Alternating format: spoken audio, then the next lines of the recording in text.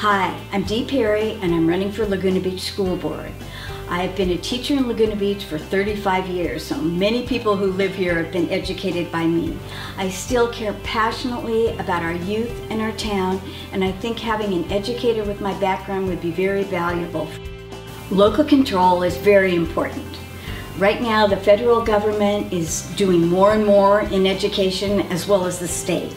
In Laguna Beach, we are so blessed to have a great budget and we want to be able to spend it on the needs of our students and do what's best for them. The budget is very important to me, especially in our district where more than 90% of the money comes from our tax dollars. I feel very compelled to watch it carefully as if it was my own money. In most districts, they spend about 6 to 7% of their budget on administration. In Laguna Beach, we spend over 12% of our budget on administration. I want to make sure that our students are getting the benefit of our tax dollars.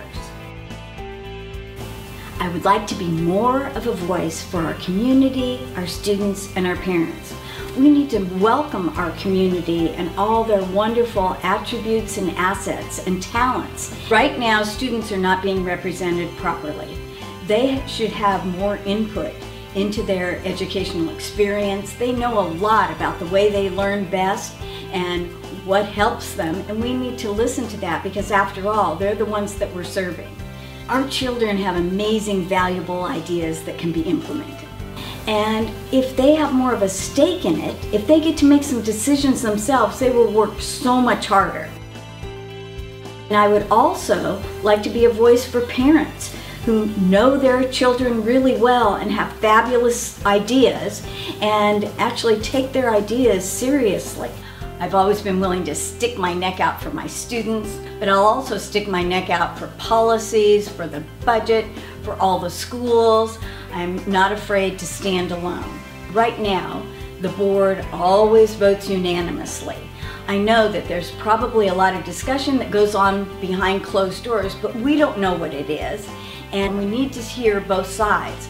I would like more transparency and I will be very transparent myself. You will know where I stand and why.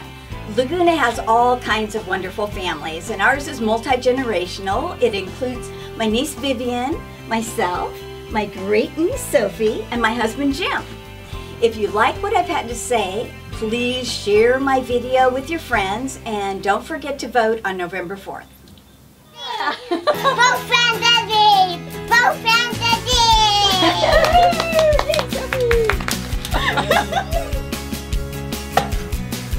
Vote fantasy!